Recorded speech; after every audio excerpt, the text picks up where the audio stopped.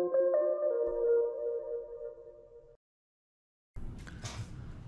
right, so how to get there. First things first, click on synthetic monitoring, and you're going to see this network health checks section. Now that we've added the network health checks, there's really a lot of stuff here under synthetic, so we've broken it out and kind of organized it into real browser, API checks, and network health checks. And within those are the various pages that are associated with each with each type of synthetic monitor.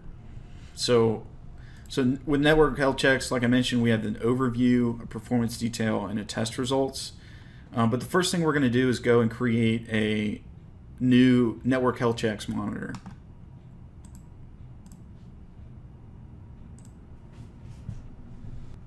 All right, so on this synthetic monitors page, uh, we're going to create a network health checks monitor option here at the bottom of the list. All right, so we're going to network health checks, monitor.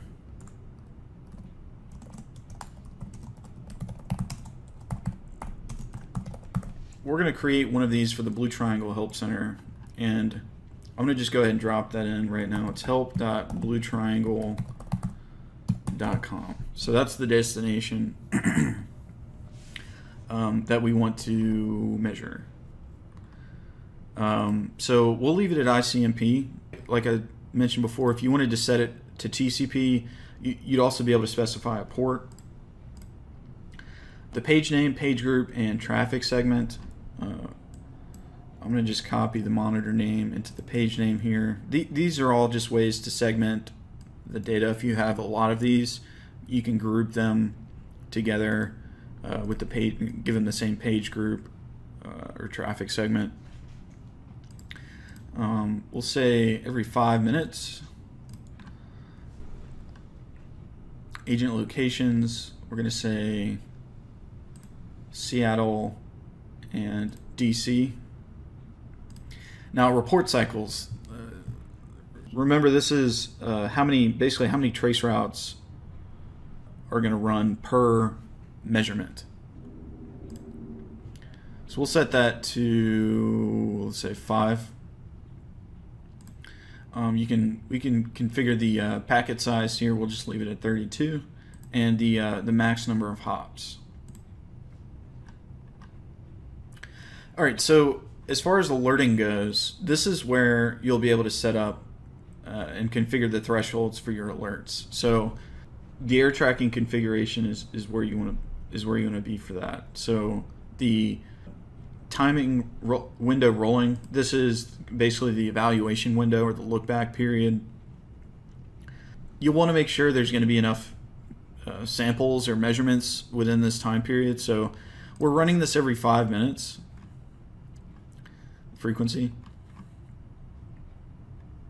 So we're going to set the timing window rolling to, let's just say 30 minutes.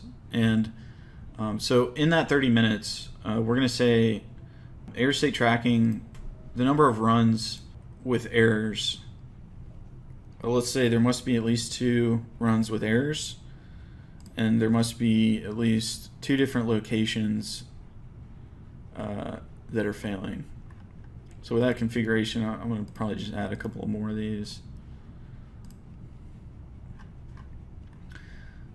So over the past 30 minutes, at least two locations must be showing an error or and uh, there must be at least two errors, right? Um, now, a couple other thresholds that you can set are the packet loss percentage and the jitter thresholds. So these are the defaults here, 1.5 and 20 milliseconds, but you can go up or down a little bit for those.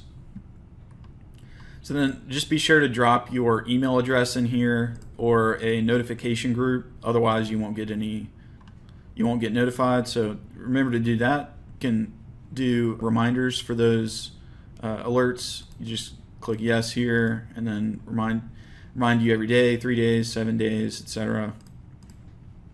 And if it if it fails, you're you're able to do a uh, retry on error. So we're all done here. Um, we've filled out the uh, the configuration And we're going to go ahead and click Review Changes and Create.